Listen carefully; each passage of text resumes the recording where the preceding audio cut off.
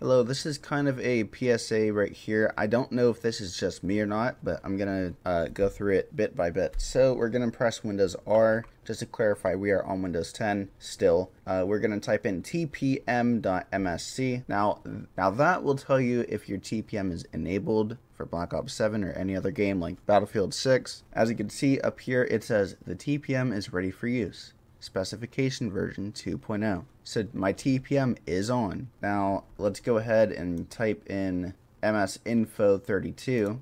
Your BIOS mode needs to be UEFI, which mine is. Secure boot state also has to be on, which mine also is on.